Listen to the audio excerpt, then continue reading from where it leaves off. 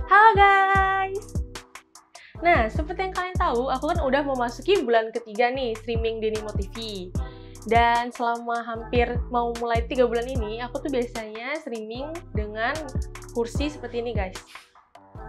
Kalian lihat, ini kursi yang menemani aku hampir tiga bulan ini karena udah mau tiga bulan aku tuh udah mulai ngerasa apa leher aku sakit punggung aku sakit. Jadi aku berpikiran untuk beli kursi gaming. Tapi karena streaming aku kan belum besar nih guys. Belum banyak yang nonton kan. Jadi aku beli kursi gamingnya tuh yang on budget aku dulu.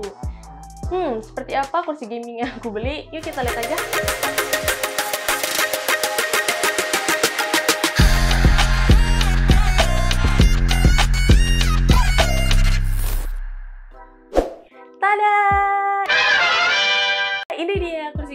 beli guys. Hmm, jadi sebenarnya udah beberapa hari yang lalu aku tuh cari-cari kursi gaming yang harganya di bawah 3 juta. Dan sebenarnya banyak banget sih apa kursi gaming yang harganya tuh di bawah 3 juta. Cuman tuh aku penasaran karena ini kan uh, series barunya si Onyx kan. Terus harganya tuh murah banget cuman di bawah 2 juta. Jadi aku tuh pengen tahu kalau kursi gaming yang harganya di bawah 2 juta tuh worth it apa enggak. Hmm, sebenarnya sih warnanya juga nih ada beberapa sih, cuman aku pilihnya yang warna hitam. Jadi kita lihat aja ya, apakah dia worth it apa enggak. Oke, langsung kita buka aja ya.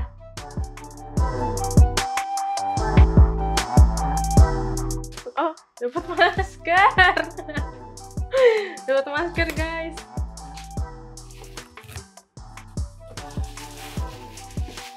Oke. Handrestnya.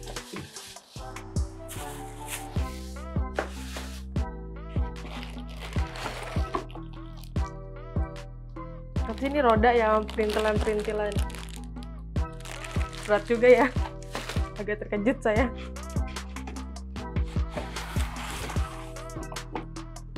Baling-baling bambu.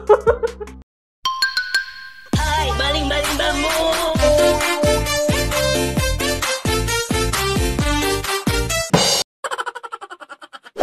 nggak salah bukan.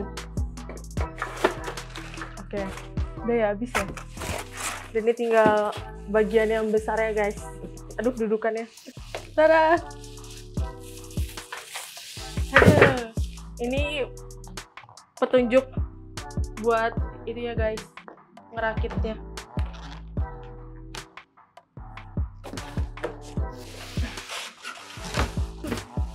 Nah ini sandarannya. Udah nggak ada apa-apa lagi. Oh ada ini nih. Buat naik turunin kursinya. Udah habis. Oke guys jadi ini buku bukan buku sih pokoknya panduan untuk cara ngerakitnya. Cuman segini doang selembar jadi kayak terlihat mudah ya guys. Tapi aku belum tahu ya karena belum aku rakit. Nah ini ada part-partnya. Ini part yang pertama ini bangkunya. Bangkunya. Terus ini ada sandarannya. Terus ini ada uh, buat handrest terus ini perintilan sama mur-murnya. Ini untuk uh, buat nopang roda-rodanya sama ini buat uh, ngatur tinggi sama rendahnya bangku kita. Yaudah yuk langsung kita rakit aja. Oke okay guys jadi sekarang aku mau pasang ini apa buat naik turun kursinya di dudukannya. Terus ini kan di dudukannya kan standnya nih front. Terus di sini juga ada nih front. Soalnya di apa panduannya tuh nggak jelas guys. Jadi harus diperhatiin di sini sini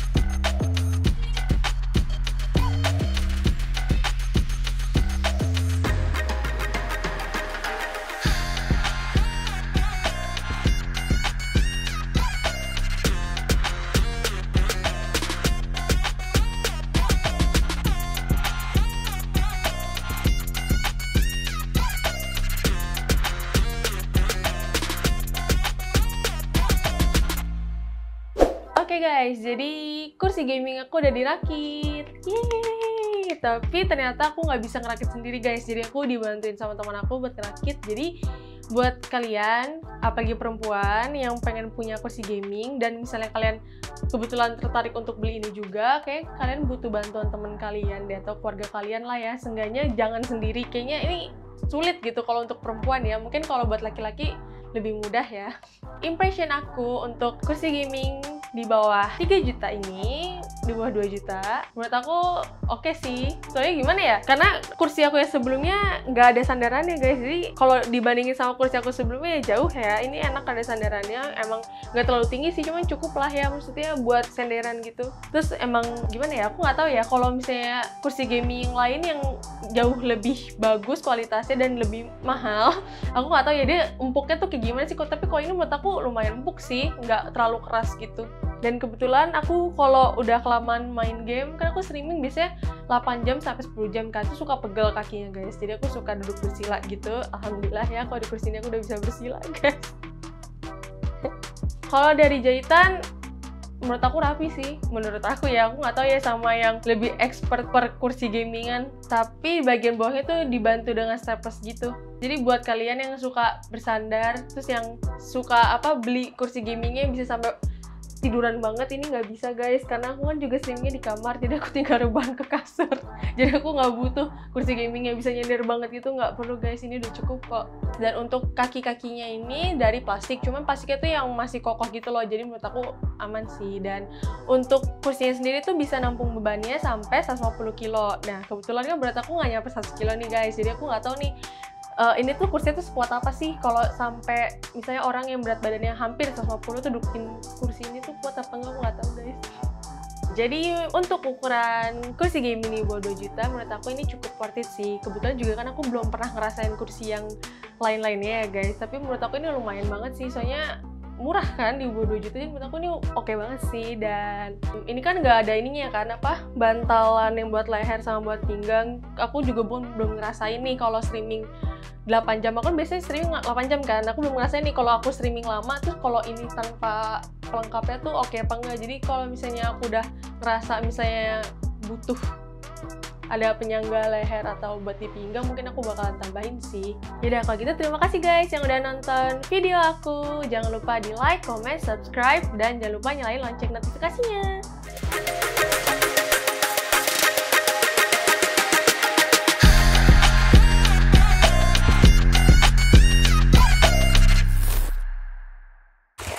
Dan ini tinggal bagian yang besar ya guys.